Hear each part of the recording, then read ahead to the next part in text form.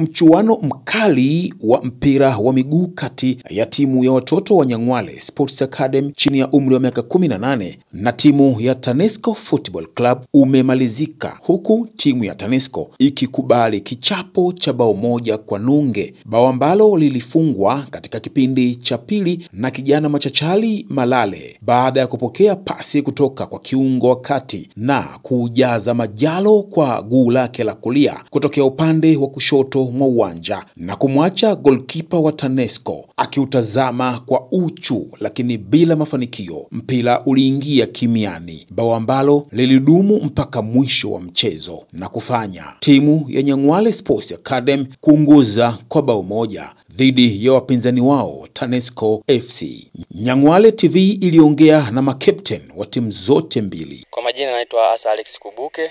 Namshukuru Mwenyezi Mungu, natokea timu ya TANESCO FC.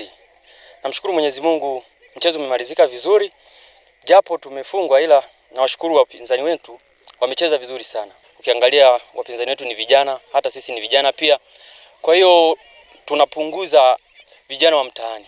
Mimi nilikuwa naomba serikali ya wilaya Nyang'hwale iwe inaandaa matamasha kama haya, itapendeza zaidi. Aa, makosa kwa kikosi changu, mimi nasema makosa ni kuto kufanya mazoezi. Mazoezi ndio changamoto, ndio imetusababisha mpaka tukafungwa hilo goli moja, ila mimi nawapongeza sana wadogo zetu, wamefanya vizuri sana.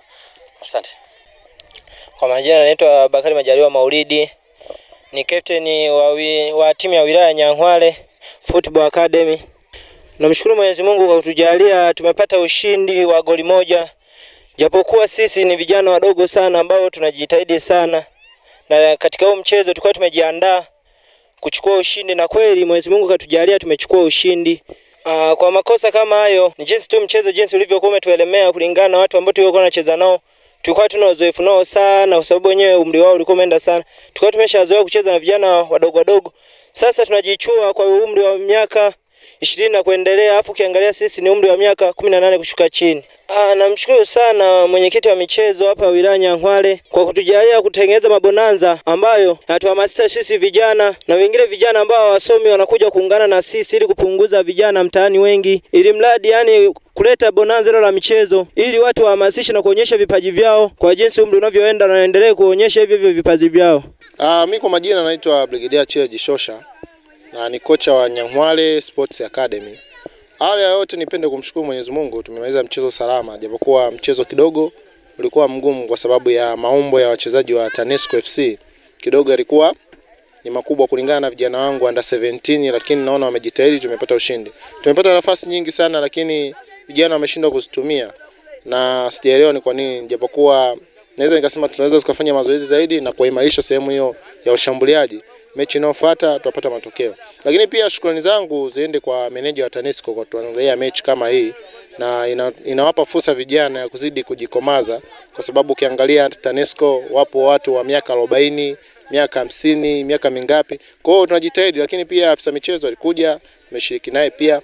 Lakini pia shukrani nyingine ziende kwa ofisi ya mkuu wa wilaya na imekuwa ikishirikiana sana na sisi, imetupa misaada mingi, mipira, koni, jezi, wametusaidia sana. Lakini pia Dasi, Dasi ni mtu muhimu sana na naweza nikasema ni mmoja wa walezi wa timu yetu. Tunawashukuru sana, tuko pamoja na sisi, tunaahidi tutafanya kazi na kuvitunza vifaa ambavyo wanatupatia. Ah, lengo ni kuwawekea fitness na kuwakomaza kwa sababu Uh, mpira sasa hivi umebadilika. Unaweza ukaenda kucheza na timu unaambiwa ni under 17 kumbe sio under 17.